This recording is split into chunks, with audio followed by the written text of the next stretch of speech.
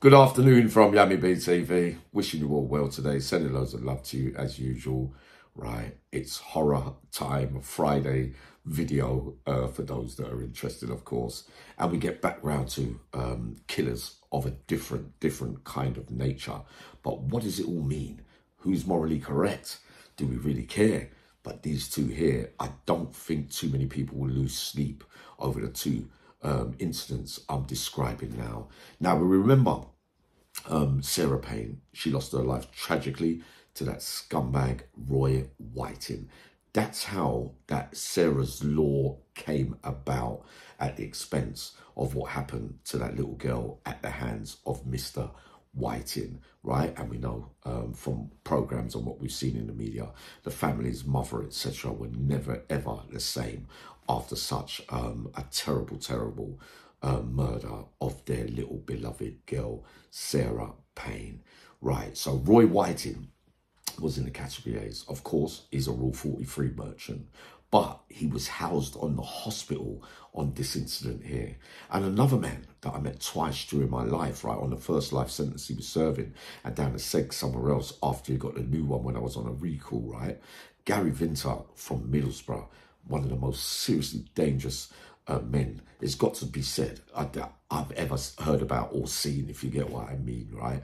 So he manages to get over to the hospital wing where Roy Whiting is, right? And these two incidents are absolute facts, you know, and it comes out of his own mouth as well, um, Vinter. So he's over there.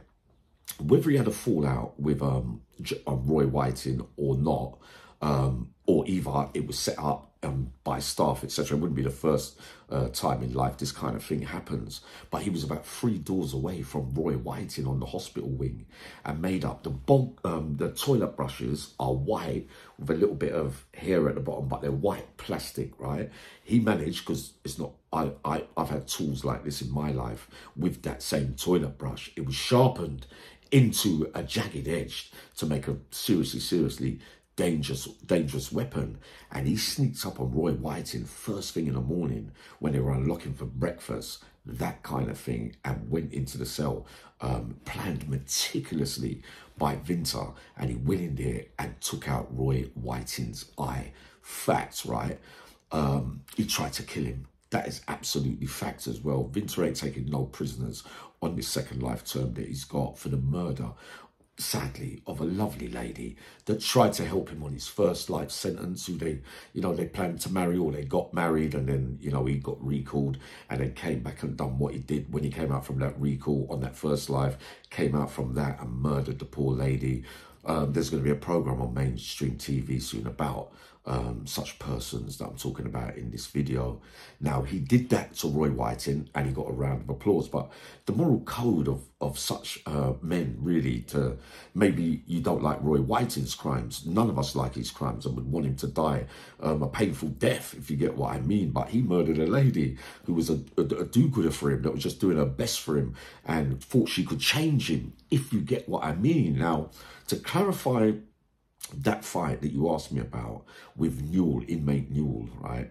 That was on Woodhill, in Woodhill, on the exercise yard, in full view of everyone. And the one bit I forgot to tell you is that Newell was already um, I think he got convicted or he went to court over killing another man in jail um, around about the same time, a few years earlier or whatever. So he was as deadly as Vinter, if you get what I mean. These things are not explained properly sometimes.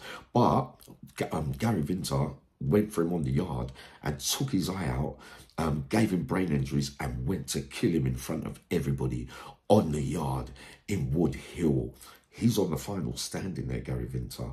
Remember this very, very important um, bit about, you know, the, the, the, emotional makeup of such a man as well. Uncle Yammy suggests um, that when he did that bad deed to that lovely lady, he handed himself in a police station. He is on the final standing there. I can't see it lasting with him. A man left with no hope, with his conscience, if there is one, is going all out. And he seems to be able to have um, the knack of striking first, which is always a deadly recipe, if you get what I mean. But I'm clarifying that, um, especially for those down in the Northeast today.